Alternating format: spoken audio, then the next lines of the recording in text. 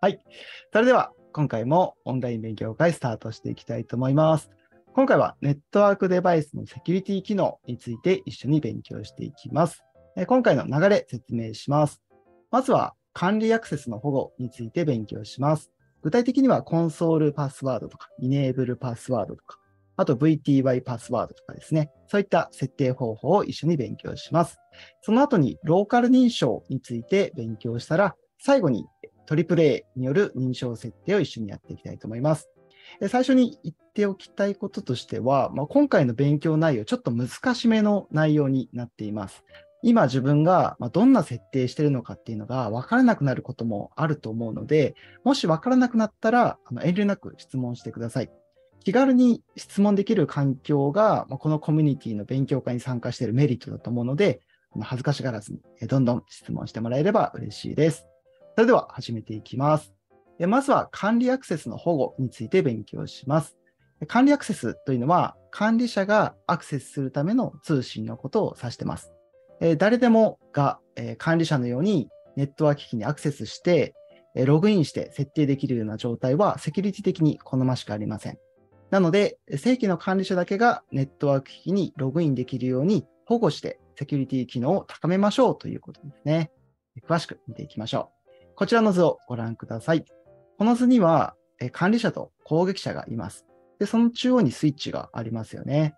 現在は、この正規の管理者がスイッチに接続していますが、攻撃者はスイッチにログインする機会を探しているような状態です。スイッチやルーターは初期設定の段階ではログインに対するパスワードが設定されていません。つまり誰でもログインできる状態ということですね。でパスワードの設定がないまま利用してしまうと、正規の管理者以外が接続してログインして設定変更を行い、管理者の意図しない状態になってしまう可能性があります。そのような状態を防ぐために、管理者が管理者がアクセスするための通信回線っていうのを保護してあげて、別の攻撃者がログインできないようにしましょうということですね。はいまあ、少し話脱線するんですけど、今言ってる話は、まあ、家に鍵をかけましょうと同じような話をしてますね。まあ、誰でも彼でもあの家に入ってこれないように皆さん扉に鍵しますよね。ネットワーク機器も一緒で管理者が入ってくるための入り口にはパスワードをかけてログインできる人を限定しましょうということを今話しています。それでは話を本題に戻します。はい、続けていきます。えー先ほど管理者が入ってくる入り口に鍵をかけましょうとお伝えしたんですけれども、初期設定の場合、管理者はこのスイッチのどのポートに接続して、えー機器に対して接続するのでしょうか？という話からしていきたいと思います。パケットトレーサー使うと、こういった物理的なところが見えないので、いまいちイメージしにくいなという方がいると思うので、こういったところも今日は勉強していこうと思います。ここにスイッチの前面の画像と背面の画像を用意しています。管理者が初期設定をするときには、まあ、どこかのポートに接続して、えログインするんですけども、初期設定の時に接続するポートはどこでしょうか、えーここわかる方、ぜひチャットに書き込んでみてください。そうですね。皆さんが書いてくださったように、ここのコンソールポートです。はい。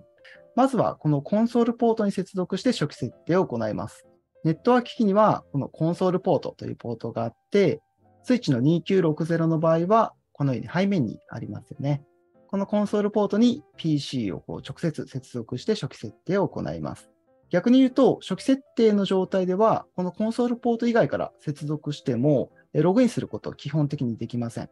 初期設定の時は、このコンソールポートから接続してログインする。でここがとても大切なところなので、意識しておきましょう。ちょっと大切なことなので、もう一度言いますね。初期設定の時は、このコンソールポートを利用して接続しますということです。ということで、最初はこのコンソールポートに対してパスワードを設定して、パスワードを知っている正規の管理者だけがログインできるように設定をしていきたいと思います。では、コンソールパスワードの設定方法なんですが、こちらに書いている通りです。えー LINE コンソール0でコンソールポートを指定します。でこの後ろに0と書かれているんですけど、これは何番目のコンソールポートなのかを意味する値です。シスコ機器は0から数えることが多いので、今回は0番目のコンソールポートという意味なんですけど、まあ、0番目が物理的にはここの1つだけのポートですね。このコンソールポートを意味しています。まあ、基本的には各機器コンソールポート1つしか存在しないので、どの機器でもコンソールポートを指定するときには LINE コンソール0となることがほとんどですね。まあ、全部と言ってもいいと思います。はい。その後にパスワードコマンドでパスワードの設定をしています。パスワードの後ろに任意の文字列でパスワードを設定できます。パスワードは大文字と小文字を区別するので注意してください。パスワードコマンドでパスワードを設定できたら、ログインコマンドを使ってパスワードを有効化します。CCNA の試験では、このログインのコマンドが入力漏れになっていて、パスワードが有効化されていないというパターンがよく出題されます。このログインコマンドが設定されていない場合は、パスワードを設定していたとしても、パスワードが有効化されていないので、誰でもログインできるようになってしまうので注意しましょう。でコンソールパスワードの設定はえ、ログインコマンドでパスワードが有効化されるところはすごく大切なポイントなので、必ず覚えておくようにしましょう。では、早速、ここまでの内容をパケットトレーサーを使って一緒にやってみたいと思います。コンソールパスワードのファイルを開くと、このような画面が出てくると思います。はい。こんな画面ですね。よいしょ。はい。では、こちらを使って、コンソールパスワードの設定を一緒にやっていきたいと思います。はい。まず、ちょっと説明から入ります。今回前提として、いつもはこネットワーク機器の設定をするときに、ネットワーク機器をクリックして、CLI のタブからいろいろ設定を入れていってると思うんですけど、今回はえっと、どういった接続をしているのかっていうところを意識してほしいので、このネットワーク機器を選択しての CLI の操作は禁止とさせてもらいます。はい。で、どのようにじゃあ操作して設定するのかっていうのは後から説明します。そして、スイッチ、今は初期状態になっているということも付け加えておきます。はい。で、初期状態なので、コンソールポートに接続して設定を行う必要があるので、今から一緒に接続から設定業務を行っていきましょう。それでは、説明続けていきます。まず、管理者の PC とこのスイッチをコンソールで接続したいので、左下のこのコネクションズからコンソールケーブルを選んでください。このケーブルですね。コンソールケーブルを選んだら、管理者の PC を選択して、で、この RS232 というポートを選択してください。はい、そこからスイッチのコンソールポートを指定しましょう。はいこれで今、管理者の PC からスイッチに対してのコンソールケーブルを使ってコンソールポートに接続できています。では、コンソールポートに接続できたので、これから設定作業を行っていきます。管理者の PC を選択してもらって、今回はデスクトップタブの、えー、このターミナルというものを利用します。ターミナルですね。実務ではこれテラタームっていうものをよく使ったりしますけれども、パケットレーサーの場合は、このターミナルというソフトを使って設定投入をしていきます。はい。こちらをターミナルを選択していただいて、いろいろ設定する値があるんですけど、ここはもう初期設定のままで大丈夫です。このまま OK ボタンを押してください。はい。すると、このように、えっ、ー、と、コンソールポートを通じて、スイッチの中の操作ができる画面に移っています。では、ここからはいつもと一緒です。はい、エンターを押していただいて、まずは Enable で特権モードに移っていただいて、conft でグローバルコンフィギュレーションモードに移っていただいたら、ここからコンソールポートのパスワードを設定していきましょう。まずはコンソールポートを接続、指定するので、LINE コンソール0でコンソールポートを指定します。0番目のコンソールポートですと。そこに対してパスワードの設定をします。パスワードコマンドで後ろで任意の文字列を指定します。今回はマサルという文字列でパスワードを設定してみましょう。はい。パスワードをマサルに設定しました。その後にログインのコマンド。これ必ず忘れないように設定しましょう。これがないと、え、パスワードの認証が有効化されないので、必ずログインというコマンドを入力してください。ここまででコンソールパスワードの設定は終了です。では実際にコンソールパスワードが有効化されているのか、もう一度コンソールポートから接続してみたいと思います。この場合、回ですね、セッション切ってもらうと大丈夫なので、あ、そうです、エンドか。エンドで抜けていただいて、exit で抜けていただくと再接続することになるので、この状態でエンターを押してもらうと、今度はパスワード聞かれるようになってますよね。ここでマサルと入力していただくと、このようにコンソールポートからログインするときに、マサルというパスワードが必要になっている状態になっているはずです。はい。あ、ちょっと説明漏らしましたけど、このパスワードを入力するときには、特に画面の線がないことにもちょっと注目しておいてください。マサルって言ったときに何も文字列が現れませんでしたし、何を打ってるのかわからなかったですよね。これもセキュリティの機能の一つで、えっと、何文字のパスワードを打ってるとか、そういったことがわからないように何も反応しないようになっていますが、正しく入力してエンターを打てば無事にログインすることができます。まあ、このようにコンソールパスワードを設定しておけば、コンソールポートから、え悪意のある第三者とかがですね、ログインすることができなくなります。ということで、ちょっと復習をしてみたいと思います。下の方にスクロールしていただくと、別のスイッチがあるので、こちらに今学んだ内容を使って、コンソールパスワードを設定してみてください。今回はシスコという文字列で設定してください。その時にこうやってスイッチをクリックして CLI からやるんじゃなくて、やるのはこの管理者ですね。管理者のケーブルを一度こうやって削除して、まあ、管理者をこうやって移動させて、この管理者とこのコンソールポートを使って接続して、うまく設定してみてください。少し時間取るので、皆さんやってみてください。ちょっと答え合わせがてら一緒にやっていきたいと思います。まずは、初期設定なので、コンソールポートに接続するために、コンソールケーブルを選択して、管理者の RS232 とスイッチのコンソールポートを接続します。これでコンソールポートに接続することができています。で、管理者をクリックしていただいて、管理者のデスクトップのコンソール接続の場合は、このターミナルを利用します。で、ここの値はいじらず、初期設定のままで大丈夫です。すると、コンソールポートからスイッチにログインすることができました。そして、ここでコンソールポートの接続なので、グローバルコンフィギュレーションモードから LINE コンソール0番目ですね。0番目のコンソールポートを選んで、パスワードとして今回はシスコですね。シスコと入力します。そしてログインコマンドも忘れないように入力しましょう。ここまで入力できたら設定は終了です。接続してみてパスワードが聞かれます。ここでシスコと入力してエンターを押すと無事にログインができるようになっているはずです。これがコンソールパスワードの設定方法です。では、コンソールパスワードの説明は以上となります。では、次の設定に移っていきましょう。次は、イネーブルパスワードについてお話ししていきます。イネーブルパスワードというのは、ユーザーモードから特権モードに移行するときに必要とされるパスワードの設定です。先ほどはコンソールパスワードを設定しましたけど、コンソールパスワードがもし流出してしまうと、攻撃者もログインできるようになってしまいますよね。なので、イネーブルパスワードも設定しておくと、万が一不正ログインを許したとしても、攻撃者は特権モードに移行することができないので、スイッチの設定変更とか、スイッチに設定している詳細な情報を見ることができなくなります。参考までに特権モードで使える小コマンドの種類と、ユーザーモードで使える小コマンドの種類を載せておきました。はい、ユーザーモードの場合は、利用できるコマンドが制限されていることがわかりますよね。はいまあ、このように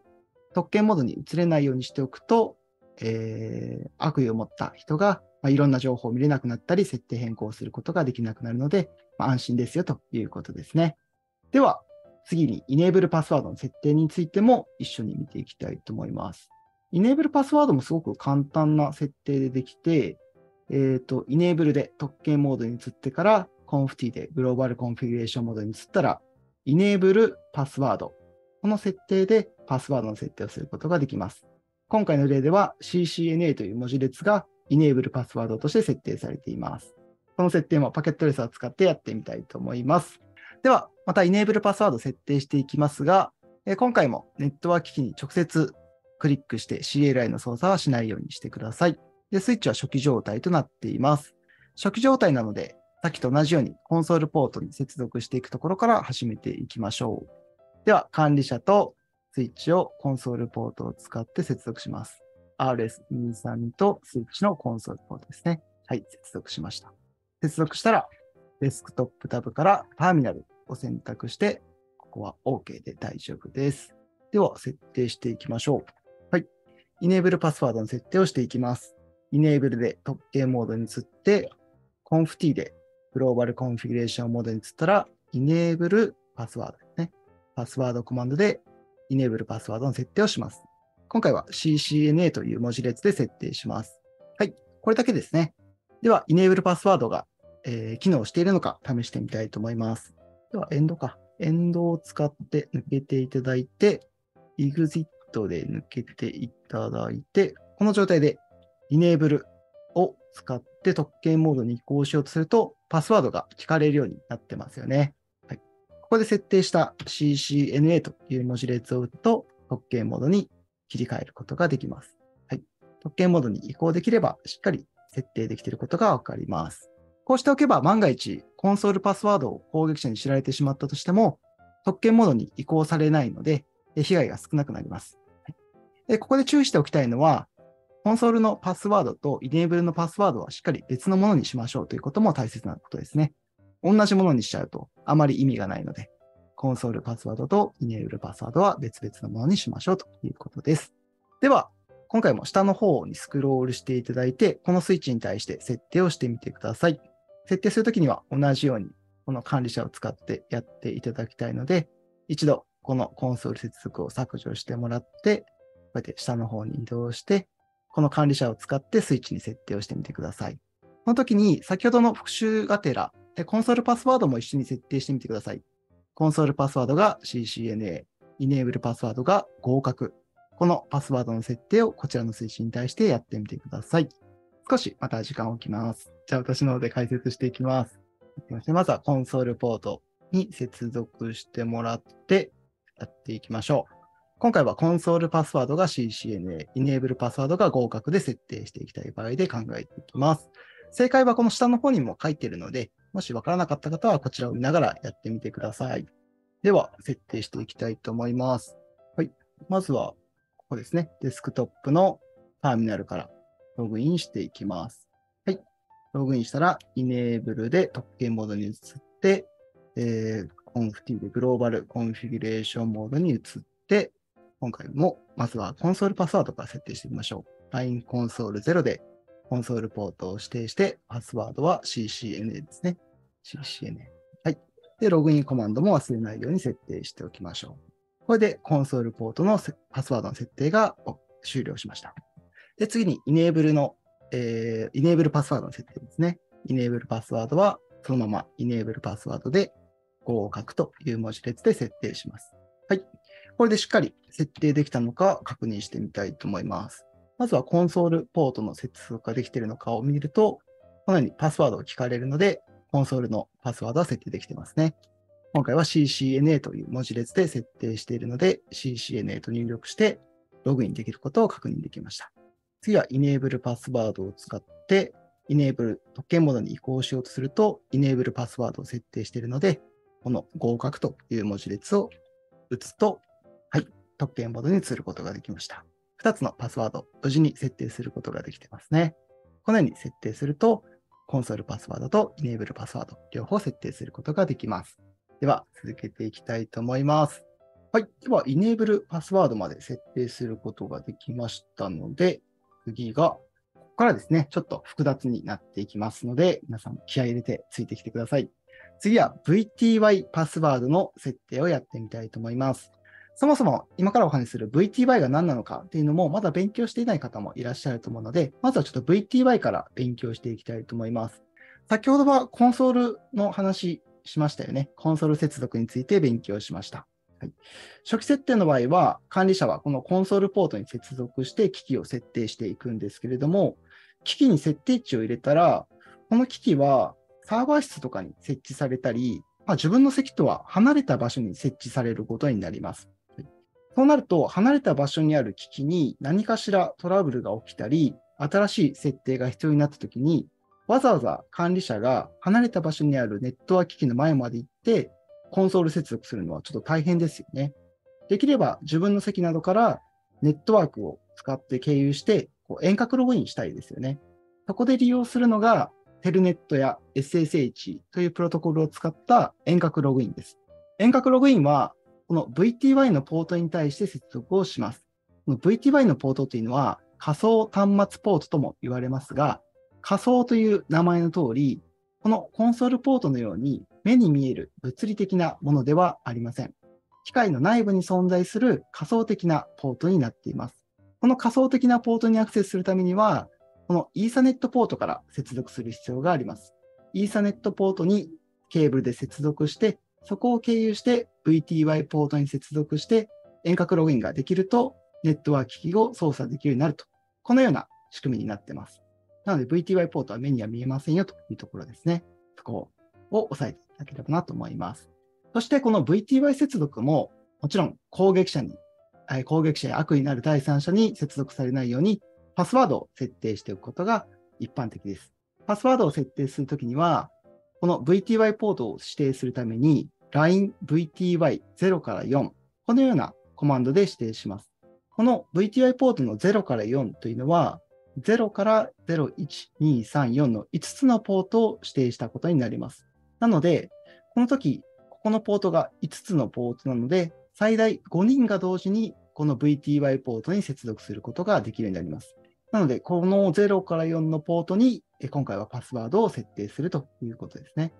パスワードを設定するときには、パスワードコマンドを使って CCNP という文字列でパスワードを設定します。そして遠隔ログインをするための設定なので、このログイン、有効化するコマンドも忘れずに設定が必要です。この設定によって VTY のポートの0から4番に接続するときには、パスワードの CCNP という文字列を知っている必要があります。VTY のパスワード自体の設定はこれで終了です。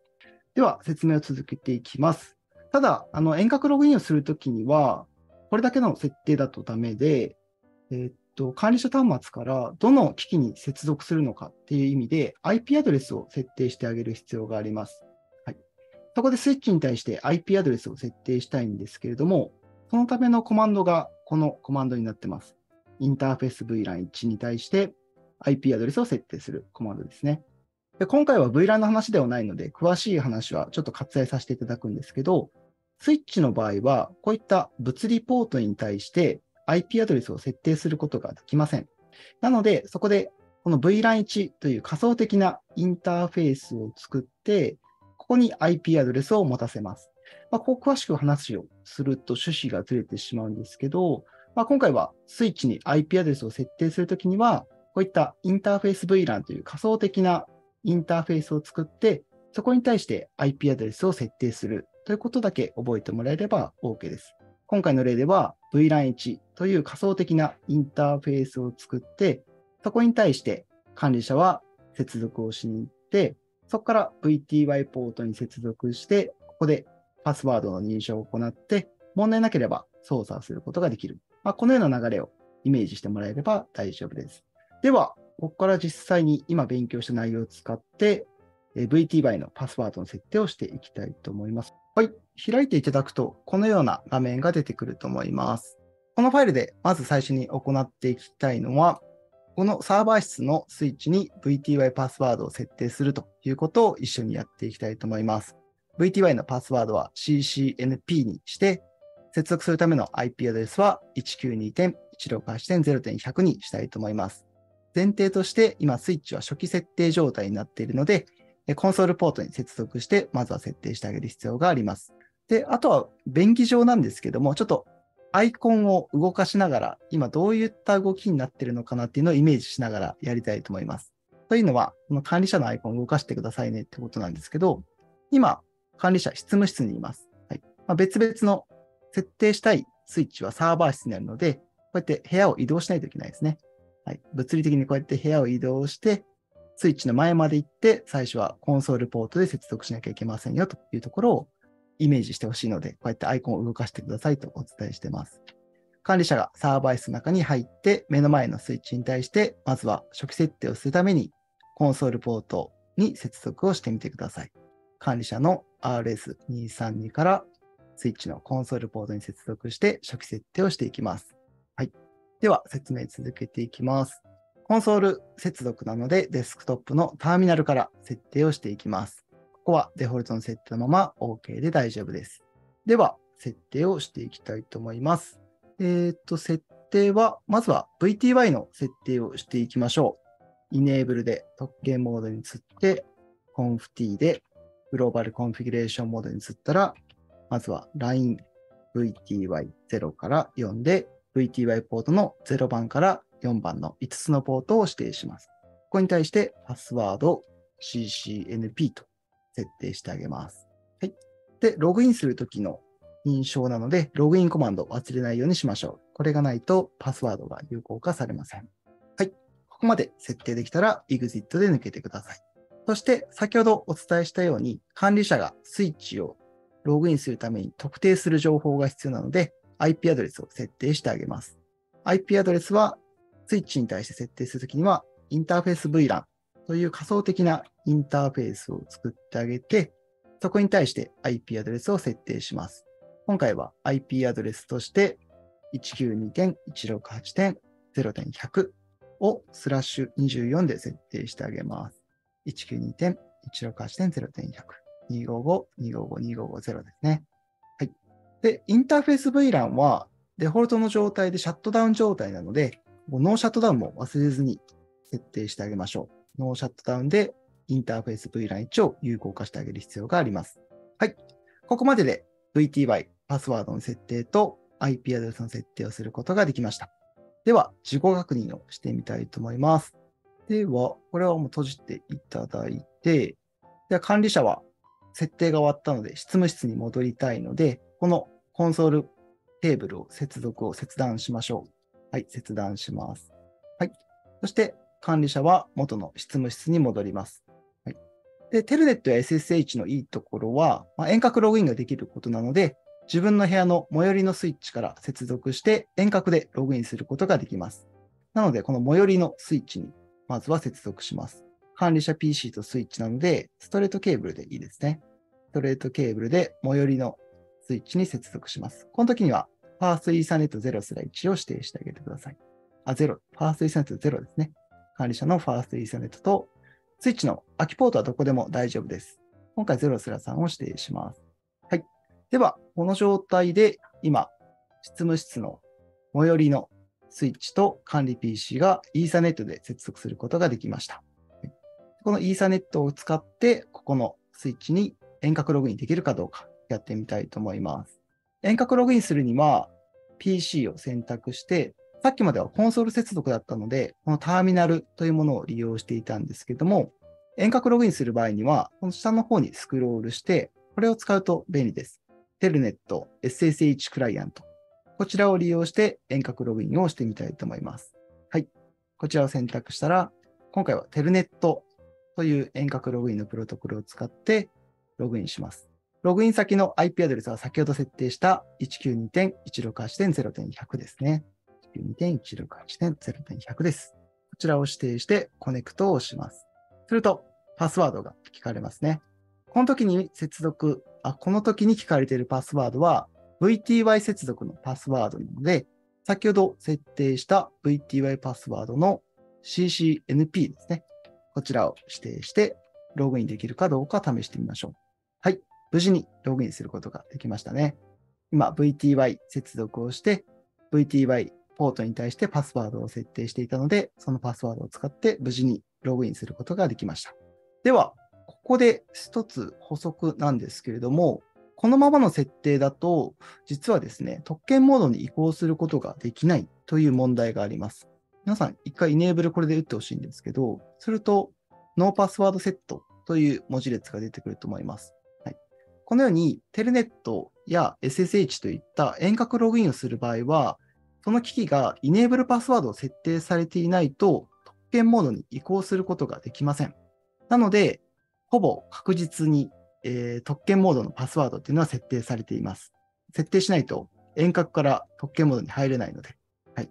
なので、えー、遠隔ログインの場合は、特権モードに移行するために、この Enable パスワードも設定しなきゃいけないよっていうことも覚えておかれるといいと思います。というわけで、じゃあ皆さん、ままた下の方にスクロールしてみていただいて、やってみよう、やってみていただきたいと思います。で今回はこの管理者さんをこうやって移動させて、検証ルームですね。検証ルームに対して、えっ、ー、と、コンソール接続してもらって、ここに書いてる設定をしてみてください。enable パスワードは ePass という設定ですね。で、VTI パスワードは Cisco。で、IP アドレスは192.168.0.10を指定してもらって、これを設定して、設定できたら、こうやって一応管理者が執務室に戻って、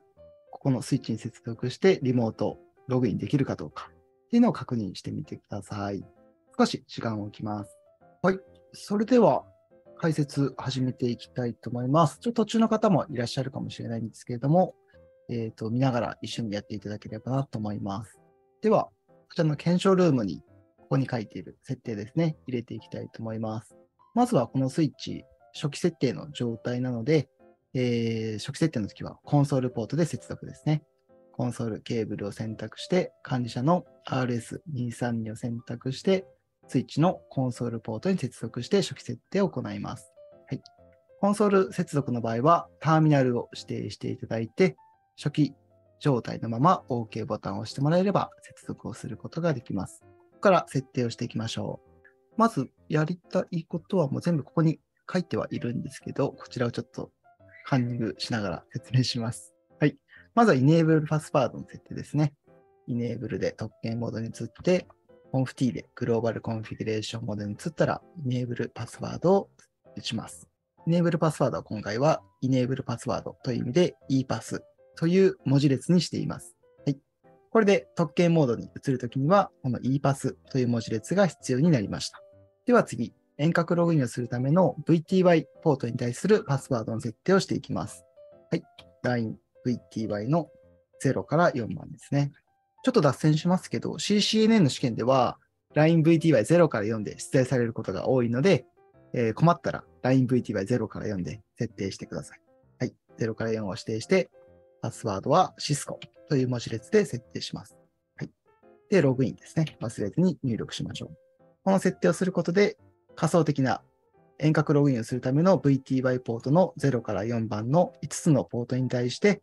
ログインするときには、パスワード、シスコという文字列が必要という設定になりました。で、ここまで設定できたら、最後に遠隔ログインをするための IP アドレスの設定をします。スイッチは物理ポートに対してイン物理ポートに対して IP アドレスを設定することができないので、インターフェースの VLAN1 という仮想的なインターフェースを作って、そこに対して IP アドレスを設定します。今回は192.168.0.10の IP アドレスをサブネットマスク255-255-250で設定します。で、インターフェース VLAN はデフォルトでシャットダウン状態なので、必ず no shutdown で有効化することも忘れないようにしましょう。